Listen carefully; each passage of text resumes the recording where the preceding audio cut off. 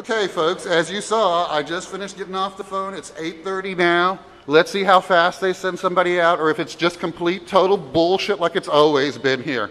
Let's continue to watch the inhumanity, learn the games, and find out that black lives, no lives matter to the San Francisco Police Department or the Sheriff's Department or the Department of Public Health. The only lives that matter are theirs, their pension, and their lies. So, let's continue to document for the world to realize that when you're sick, that when you need help, even the Department of Public Health and its minions can screw you because guess what? That's the way it was set up. The inhumanity is rampant here, but it's been documented, and I will continue to do the correct thing in an incorrect society where, you know, the game playing is just rampant.